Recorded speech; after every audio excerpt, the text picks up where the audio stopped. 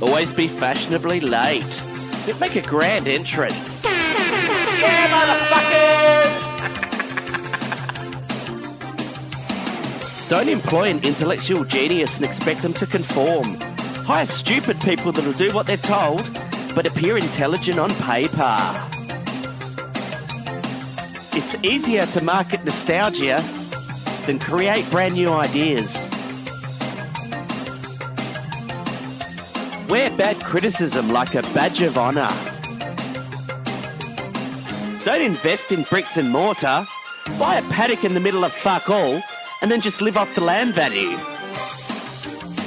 A common mistake people make is they turn up to a specific marketplace and then try to think of products that it will sell like all the others are. Focus on building your product first and then search for the best avenue to sell it.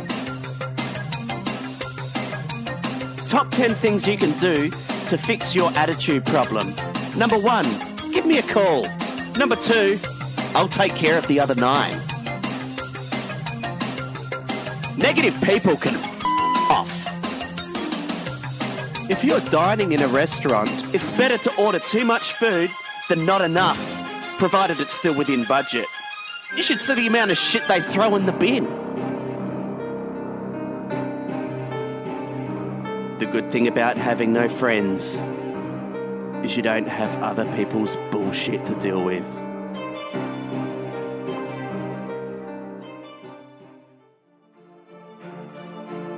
One common attitude we hear is artists rarely make money and only few make it. There's a reason for this. You see, true artists are more interested in making art than earning money. If they were interested in money, they'd be going to business school or becoming a bank manager. But no, they're too busy making art than trying to sell it. Unfortunately, we need money to live. So emerging artists usually stuck at some fucking market stall trying to get people interested in the bullshit they can't sell, but might have a shot if they were spending more time on the art that no one cares about. You see, true artists don't make money. One exception, of course, is a bullshit artist. They make money. Why? Because they understand marketing. You see, as an attitude consultant, I can help you monetize your talent and bring it out into the marketplace. Just by simply doing my 10 week program, I will teach you how to turn your art into the cha-ching cha-ching that you need to pay those bills. A great mentor of mine, uh, some of you might remember him, Big Kev. You know, the I'm excited, I'm excited. Yeah, good old Big Kev. Uh, he taught me that we're all selling something. Big Kev, of course, was a highly successful salesperson, media personality, and he bedazzled the Australian daytime TV screens with his innovative cleaning products and infomercials. He's a good mate of mine, old uh, Big Kev.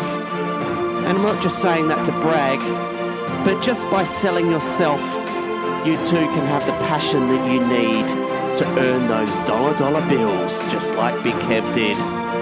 And the thing is, anyone can be a salesperson. You don't even need any sales skills.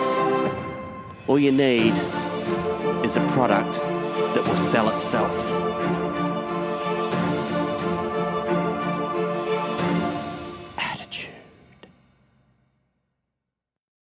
Attitude Consulting is written and performed by Rowan Harry and distributed by the Auscast Network.